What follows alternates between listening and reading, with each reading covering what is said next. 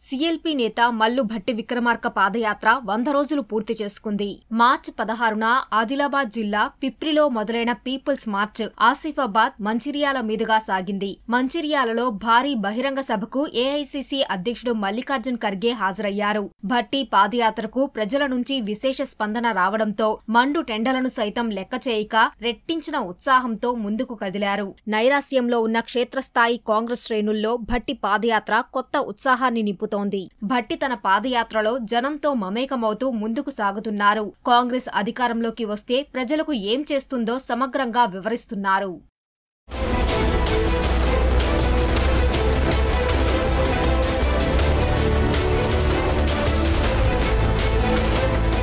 మార్చి పదహారున మొదలైన పాదయాత్ర మండు టెండల్లో నిరాటంకంగా కొనసాగింది. ఎక్కడా వాహనం ఎక్కకుండా నడుచుకుంటూనే భట్టి విక్రమార్క ముందుకు సాగుతున్నారు. ఎక్కడ చీకటైతే అక్కడే షామియానా కింద విశ్రాంతి తీసుకుంటూ సాదాసీదాగా పాదయాత్ర సాగిస్తున్నారు. మండు టెండల్లో నడక కొనసాగడంతో రెండుసార్లు అస్వస్థకు గురయ్యారు. జర్చల సమీపంలోని ఉదండాపూర్లో వడదెబ్బ తగిలి నీరసించారు. రెండు రోజులు విశ్రాంతి తీసుకుని స్వస్థత చేకూరాక తిరిగి మొదలుపెట్టారు. జడ్చల్ల బహిరంగ సభకు హిమాచల్ ప్రదేశ్ ముఖ్యమంత్రి సిక్విందర్ సింగ్ సుక్కు హాజరై భట్టి పాదయాత్రను అభినందించారు. జడ్చర్ల సభ తర్వాత నాగర్ కర్నూల్ జిల్లాలో పాదయాత్రకు విశేష స్పందన వచ్చింది. నకరేకల్ నియోజకవర్గం కేతెపల్లి వద్ద వడదెబ్బకు గురైన భట్టి రెండు రోజుల విశ్రాంతి అనంతరం తిరిగి నడక ప్రారంభించారు.